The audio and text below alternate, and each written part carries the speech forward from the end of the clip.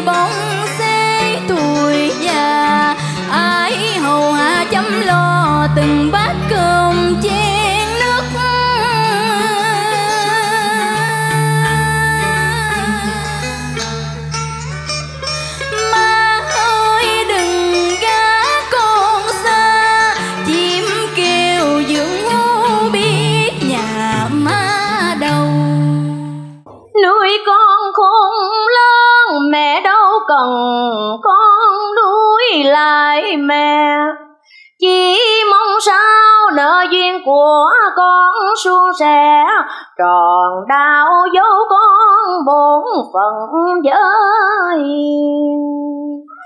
bấy nhiêu thôi là mẹ đủ vui mừng. Người ta thường nói, Giết nam, giết hữu còn thập nữ, giết vua. Nhưng con nào chẳng là con Mang trong dạ ẩm trên tay không thương làm sao cho được. Con của mẹ nay là con của người khác. Biết có được cưng chiều hay cực khổ lòng đông Nên bây giờ mình nhường hai người nói chuyện. Mẹ không có ý kiến gì hết. Sau khi kết thúc phần thi của mình thì Thiên Ngân cảm thấy rất là có lỗi với mẹ. Thiên Ngân chưa có được hài lòng với bài thi của mình. Hình như là chú không lầm thì ờ, con đã từng bước vào cuộc thi solo ờ, Dạ con bước vào thi solo năm đầu tiên năm đầu tiên. Dạ Năm nay con có 16 6 tuổi. tuổi à Vậy thì cách đây là con có 10 tuổi thôi. Chú nhớ là chú rất là nhớ có cái khoảnh khắc đã gặp con cái tên Thiên này.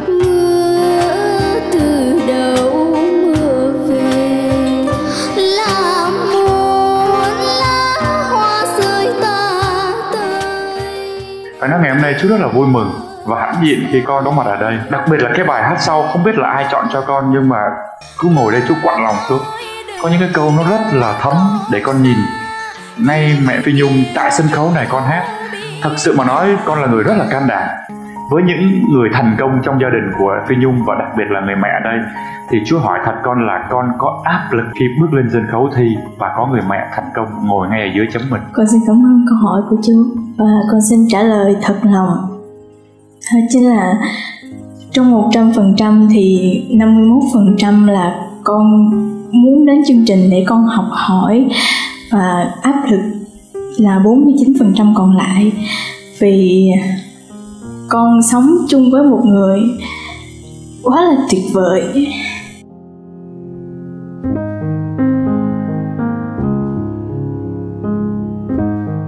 Con đã hát hết với trái tim mà mẹ đã chỉ dạy cho con. Con cảm nhận là hôm nay con hát chưa tốt. Con muốn cúi đầu xin lỗi mẹ và nếu mà được vào vòng trong thì con sẽ thực sự cố gắng không làm mẹ thất vọng hỏi con một câu là con trả lời thật sự với cô. Thật sự con có yêu nghề này hay không? Con có thể hy sinh về nghề này hay không? Có. Trên cái đường đời mình đi mình không biết sẽ thành công tới đâu. Nhưng những gì con đã thể hiện tại sân khấu này những cái lời nói của con chú nghĩ là mẹ đã quá thỏa lòng. Chú quay qua mẹ phi nhung nói với chú một câu và chú rất là mừng. Mẹ nó học giỏi lắm chú vinh. Nó học giỏi lắm ở trong bài hát con cũng nói là con sẽ học hành. Và cảm ơn người mẹ đã nuôi con nên dấp nên hình như ngày hôm nay. Mẹ đã nuôi con nên giống nên hình. Mười mấy năm mẹ cứu mang hoàng dương chưa một ngày đền ta nghĩa nếu có một cái lời khuyên thì con tiếp tục học giỏi. Ngày hôm nay chú nghĩ với cái tuổi 16 với những gì con đứng đây con thể hiện chú nghĩ đó là một cái nấc thang để cho mẹ nhung có thể hãnh diện. Chú cũng rất hãnh diện vì con có mặt ở solo. Cảm ơn con. Con lớn nhanh quá chú nhìn còn không ra à, thực ra thì bữa nay à, chú biết con đã bị áp lực rất là nhiều chứ phải không đâu. Từ khi con bước ra cất tiếng ca hát đầu tiên là chú đã thấy cái sự không được ờ, an tâm ờ, trong phần trình diễn của con rồi. Tuy nhiên à, tới khi cái câu tới cái đoạn thứ hai của bài hát thì chú mới thấy được con lấy lại cái thăng bằng. Chú hy vọng rằng bà chú sẽ nghĩ rằng so với cái độ, độ tuổi 16 của con và được mẹ Phi Nhung truyền đạt như vậy thì chú mong rằng chú hy vọng rằng bà chú sẽ nghĩ rằng con sẽ có một tương lai rất là xa và rất là sáng đẹp trong cái dòng nhạc bolero, cũng như cái sự nghề nghiệp ca hát mà con đã chọn đối à, với uh, um, những lời nhận xét của tất cả ban giám khảo em suy nghĩ chắc chắn là nếu mà được vào vòng trong thì em sẽ thật sự uh, cố gắng và khắc phục những lỗi mà em đã sai phạm trong tập này. Tôi biết là có mẹ ngồi dưới thì em rất căng thẳng bởi vì uh, ngay cả tôi nhìn qua chị phi nhung thì chị phi nhung cũng rất căng thẳng lo cho người con của mình đang trình diễn đang thi trên sân khấu. Tuy nhiên đối với hà thu thì ờ, thiên ngân đã làm rất tốt. Hà Thu rất thích cái giọng hát ngọt ngào của Thiên Ngân. Nó đúng với cái độ tuổi và đoạn vào cái cái giọng cổ rất là ngọt. Mẹ ơi phần gai mười hai bên nước biết bên nào trong biết sông nào đu Hà Thu rất là thích cái đoạn đoạn mà em ca giọng cổ đó. Một tà áo trắng rất là dễ thương mái tóc dài tuổi 16 à tuy nhiên là à, chị à, có để ý là tại vì đôi khi em mãi mê vào tập trung vào giọng hát quá thì em lại hơi khòm lưng. Khi mình mình mình mặc áo dài á thì um, mặc dù là tập trung vào hát nhưng mà uh, thiên ngân để ý một chút để mình đứng dáng thẳng lưng thì mình uh, sẽ đẹp hơn. Thật sự ra là phi nhung uh, cũng nói trước kia là nói với lại tất cả quý khán thính giả đang xem truyền hình cũng như là ban tổ chức cũng như là tất cả vị các vị giám khảo ở đây. Nhưng rất là công bằng không phân biệt khi lên sân khấu bắt buộc với công bằng đối với những các thí sinh khác. Về nhà mẹ có thể la mắng hay là cái gì đó coi con khác. Nhưng mà ở đây mẹ coi con là một thí sinh công bằng như những các thí sinh khác. Mẹ rất là tự hào về con. Khi con biết con con sai bây giờ mẹ muốn hỏi con là trong cái bài hát này con đã sai ở cái điểm nào? Con bị tét giọng chính xác phải trừ điểm con, chứ không thể nào mà mà binh vực con được. Lúc thì là lên cao cũng được, cũng ngọt ngào, nhưng mà có khi bị xét giống như là nãy con ca như vậy, là mẹ cũng chưa có vừa lòng lắm. Thật sự mẹ nói ra điểm luôn con đối với mẹ chỉ có 8 điểm mà thôi. Vâng thưa quý vị, giám khảo phi nhung thì luôn luôn công bằng. Chắc hẳn là chúng ta vẫn nhớ rất là nhiều những lời nhận xét hết sức là, phải nói là đầy đủ ý và thậm chí là không nương bất kỳ một chút nào của giám khảo Phi Nhung dành cho Quỳnh Trang và Tuyết Nhung của các mùa trước thì ở đây mùa này Thi Ngân chắc chắn là cũng không phải là ngoại lệ để cho thấy là không có mẹ con gì ở đây cả, là thí sinh và giám khảo. 8 điểm là số điểm mà giám khảo Phi Nhung đã tiết lộ để dành cho Thi Ngân. Liệu rằng Thi Ngân có được đủ số điểm để góp mặt ở vòng trong hay không? Tất cả sẽ chờ ở vòng sing up một tràng vỗ tay cho Thi Ngân.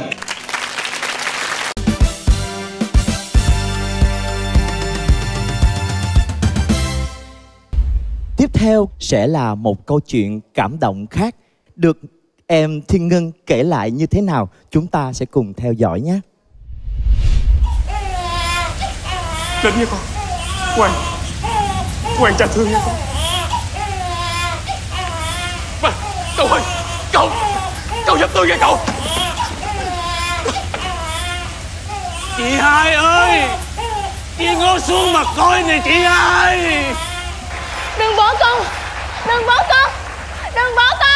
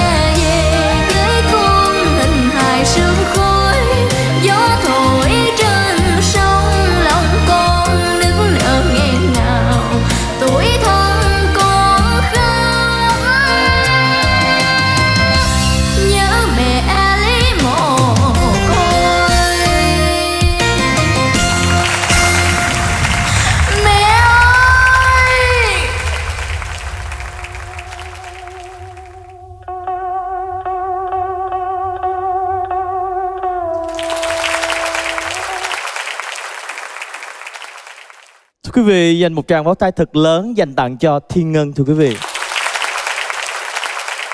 Xin được mời danh ca Thái Châu. Hôm nay cái tiết mục này à, con hát rất là tuyệt vời. Cái xúc cảm của con từ đầu bài hát cho tới cuối bài hát, xúc cảm con rất là dạt dào. Chú rất là xúc động. Đây là bài hát mà con thể hiện tình cảm hay nhất từ trong cuộc thi. Con chiếm được cảm tình của chú là ở cái chỗ cảm xúc của con. Nguyên một bài hát. Chứ thật ra cái hát của mình đó cao thì gắt quá, mà xuống thấp lại không nghe lời. Con phải ý, phải để ý cái này. con về con tập lại cái xuống thấp của con và cái cầm cái micro của con đó con phải có kinh nghiệm khi nào thấp con để sát vô chút xíu khi nào con hát cái giọng lên cao á, thì cao lắm nhưng mà nó hơi chua, chứ nó không ngọt thành ra cố gắng về tập lại. Cô mong là nếu mà có dịp gặp lại con, sẽ hay hơn và xuất sắc hơn. Cảm ơn em. Cô rất mong là con chú ý, bởi vì bản thân giọng ca của con là rất quý. Và như anh Thái Châu nói đó, cảm xúc mà con đưa đến cho người xem hôm nay thì rất tuyệt vời. Và mong rằng cái việc này nó cũng sẽ đi đôi với lại cách xử lý về kỹ thuật của cái giọng hát của con. Cảm ơn con. Dạ, Thiên Ngân có lợi thế là em có cái giọng mũi. Cái giọng mũi rất là trong. Cái giọng mũi này là những người mà hát dân ca và nhạc trữ, trữ tình đó rất là cần. Bởi vì có thể lên cao mà nó bỏ nhỏ rất hay. Cái tiết mục thì dàn dựng rất là dễ thương Phù hợp với lứa tuổi của em. Nhưng có cái điều thì à, những cuối câu đó nhưng như, như là những cái chữ phương xa đó thì em tống mạnh quá. Nếu mình lên cao không được thì mình phải có dùng thế. Không dùng sức được thì mình phải dùng thế. Là chữ phương xa phải luyến đi và nhẹ lên. Chứ không đẩy mạnh quá. Đẩy mạnh quá thì nó sẽ bị phô và bị lạc. Như phương phương xa đó luyến một cái thì nó nhẹ đi. Thật ra cái bài này rất là ngặt. Cao thì cao quá mà thấp thì lại quá thấp. Rất là khó thể hiện với một đứa bé như em. Nhưng mà dù sao thì tôi thấy như vậy đối với em thì cũng là đã quá tốt rồi tôi cũng chúc mừng em Còn bây giờ sẽ là số điểm dành cho Thiên Ngân. Xin được mời danh ca Thái Châu. 9,5 điểm. Số điểm của danh ca Phương Dung chúng ta sẽ biết được ở cuối chương trình. Còn bây giờ sẽ là số điểm từ phía tiến sĩ Bạch Tuyết. 9,5. Số điểm của nghệ sĩ ưu tú Thanh Kim Huệ. 9 điểm. Xin cảm ơn chị rất là nhiều. Còn bây giờ sẽ là số điểm từ phía giám khảo trường quay dành cho Thiên Ngân. Xin mời.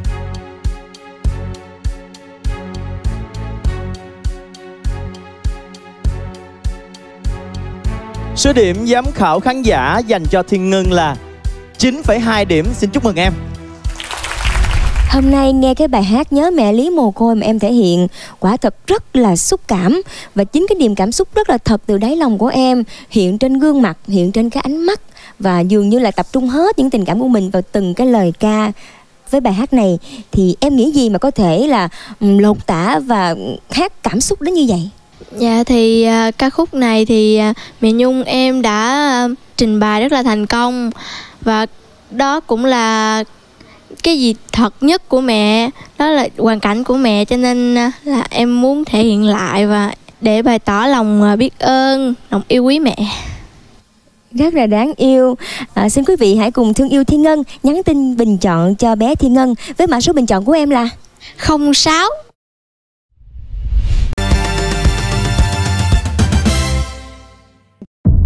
Con là Thiên Ngân, con may mắn được sự giúp đỡ của mẹ Phi Nhung. Con sẽ là sao nối ngôi Bây giờ ở đây chấm con đậu thì cô không chấm Nhưng mà cô sẽ chấm con làm đệ tử của cô. Dạ, con bắt đầu muốn hát và làm ca sĩ từ à, lúc con 5 tuổi. Hiện tại thì à, bé có một cái giọng hát Không phải là giống Phi Nhung mà là có một cái giọng hát riêng biệt Và có um, cái cách ngân luyến lấy cũng khác mà Phi Nhung nữa. Tạm thời cứ để cho bé vừa đi học mà bé cũng vừa lên sân khấu, bé hát để bé học hỏi thêm. Nếu mà nấp với cái bóng với nhung thì sẽ không có nữa là tại vì nhung rất là tự tin khi nhung nhận bé và nhung sẽ biết cách để chỉ bé như thế nào. Con muốn làm ca sĩ một để thỏa mãn ước mơ, mục đích nữa là để à, con giúp đỡ gia đình và có thể làm à, được à, những gì mẹ nhung đã làm. Thưa quý vị, đó chính là giọng ca nhí Thiên Ngân và chúng ta hãy cùng xem trong thời gian qua khi trở thành con nuôi của ca sĩ Phi Nhung thì bé Thiên Ngân đã học được những gì và sẽ thể hiện ra sao trong tiết mục này nhé.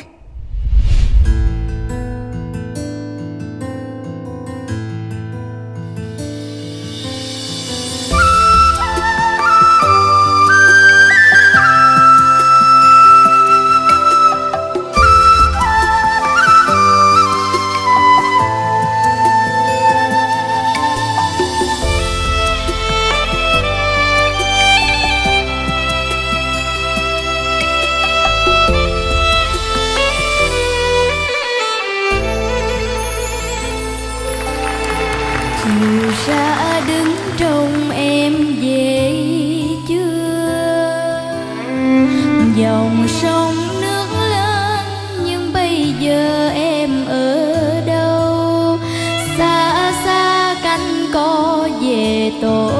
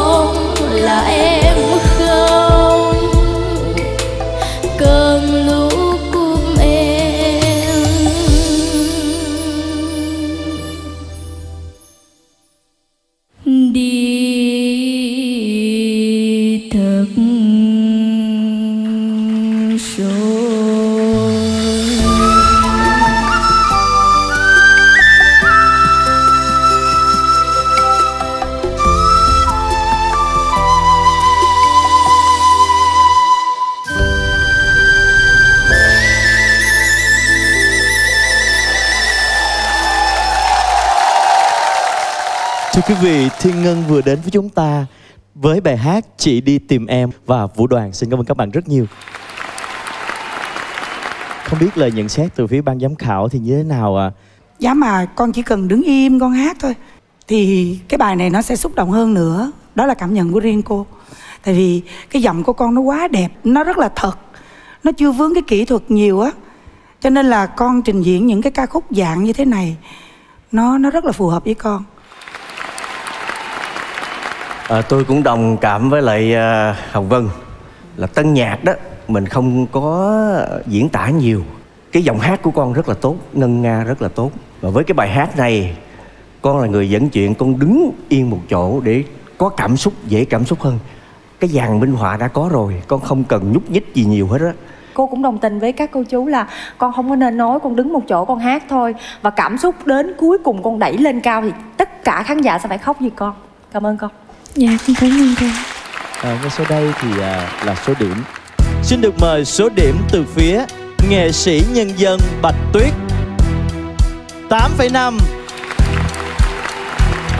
Xin được mời số điểm từ phía giám khảo Thái Châu. 9 Giám khảo Khánh My. 9 Còn bây giờ sẽ là thời gian cho điểm từ phía giám khảo trường quay. Xin mời.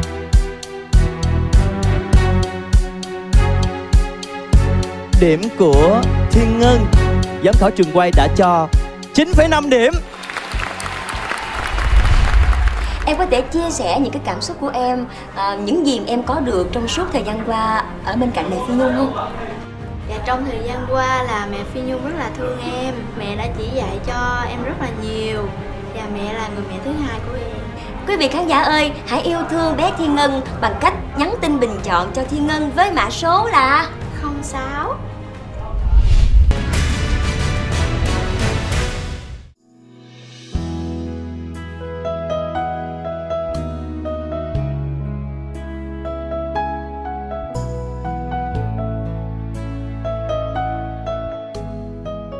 tham gia cuộc thi solo cùng Bolero là vì em rất là thích dòng nhạc Bolero.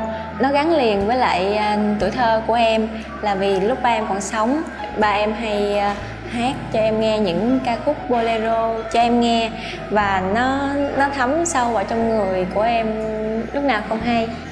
Hiện tại thì à, ngoài giờ đi học thì buổi sáng em đi ra quán chay để phụ làm phục vụ.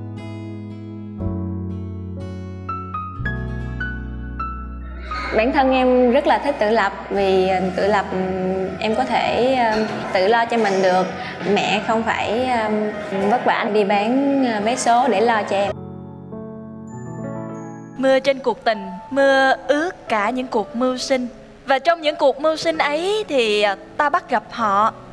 Cô gái nhỏ tuổi nhất của cuộc thi. Cô gái đã phải tạm gác lại việc học của mình để mong phụ giúp mẹ vẫn còn đang bán vé số. Là mạnh nguyên chàng trai kẹo kéo, anh vẫn rong ruổi trên những ngã đường với chiếc loa của mình. Có thể trong cuộc sống, họ là những người lặng lẽ, nhưng trên chính sân khấu này, họ sẽ hát lên bằng tất cả tình yêu của mình với bolero.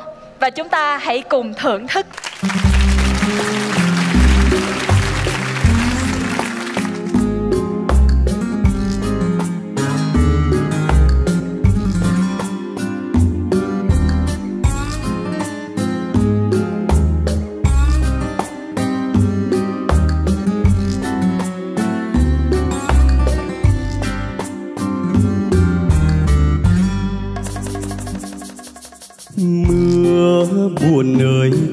Người ngừng tiếng.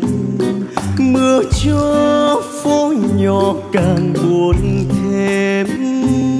Mưa rơi, gác xưa thêm lạnh vắng phòng côi lắng tiêu điều, đường khuya vắng điêu hiu.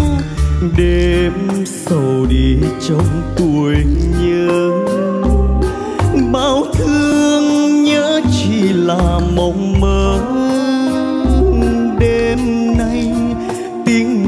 rời rơi buồn quá, mưa đêm sầu riêng ai buồn nơi đến bao giờ? Mưa ơi mưa ơi, mưa gieo sầu nhắn thế, mưa nhớ ai? Biết người xưa có còn nhớ hay quên? Duyên ta vẫn u hoài. Đêm đêm tiếp đêm nhớ mong người đã cách xa. Mưa buồn ơi, thôi đừng rơi mưa cho tiếng nhạc buồn chiến miên. Đêm nào, chốn đây ta diều nhau trao muôn ngàn lời thơ, chưa mong đến kiếp nào.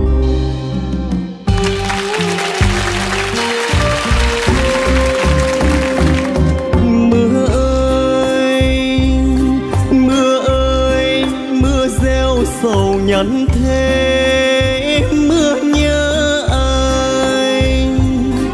Biết người xưa có còn nhớ hay quên? Riêng ta vẫn u hoài. Đêm đêm tim đêm nhớ mong người đã cách xa.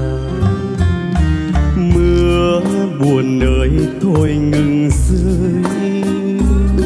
Mưa cho tiếng nhạt buồn chiến miên đêm nào chốn đây ta dịu nhau, trao mùa ngàn lời thơ chưa mong đến kiếp nào. Đêm nào chốn đây ta dịu nhau, trao muôn ngàn lời thơ chưa mong đến kiếp nào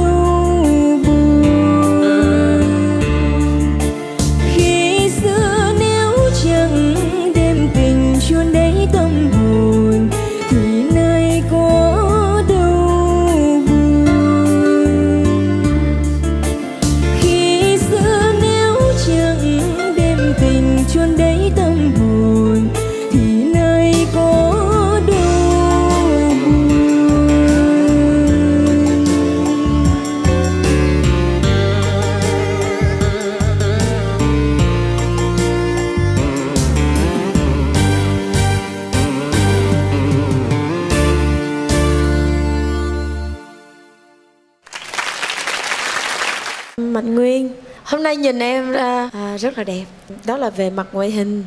Còn bây giờ thì cái giọng hát của em thì Chắc em bị rung hay là như thế nào em nhỉ? Dạ, con sốt mấy bữa nay với lại con À, hèn chi chị thấy là nó có cái phần khác hơn ở cái tập vừa rồi. Nhưng mà ở đây chị Nhung à, cần em à, chú tâm và khắc phục nhiều hơn nữa là những cái nốt thấp của em.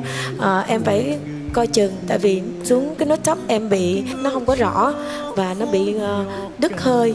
Với ở đây nhung cần em là cái độ ngân của em nhiều hơn nữa. Còn lên cao thì là em lên rất là đẹp rất là rõ chữ. Còn um, tiết nhung thì um, khẩu hình của con không có mở. Nó bị cứng nhìn trời mưa đổ bắt đầu đi xuống là con hát con không có tập trung nữa. Con bị đuối hơi. Nhìn trời mưa đổ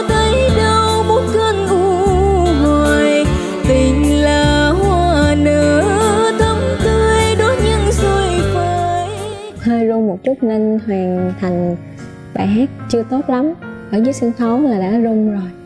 Cho nên lên sân khấu hát không không được tốt lắm.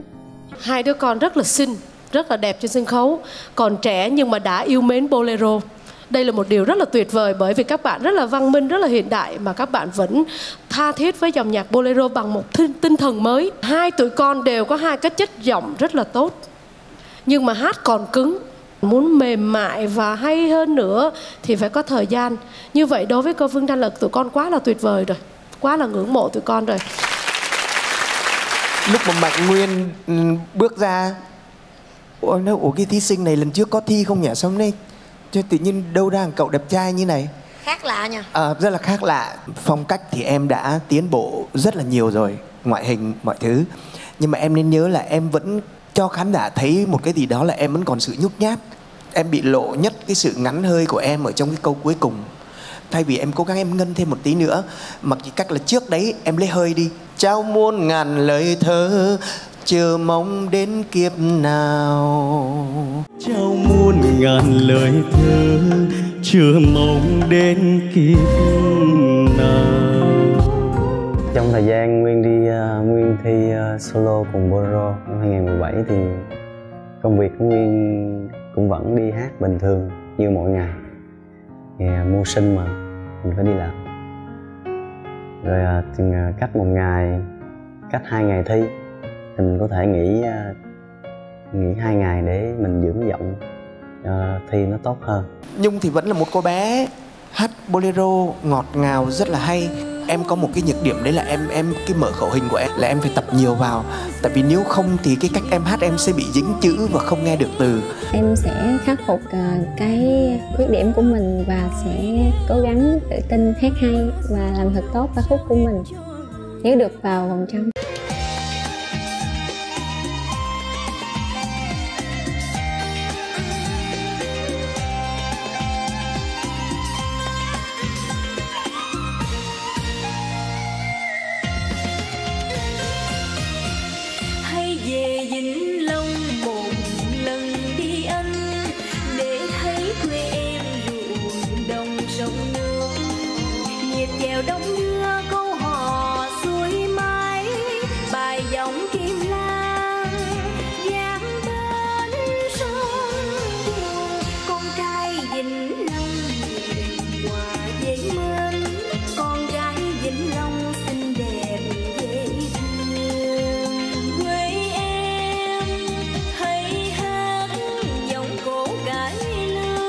勇敢。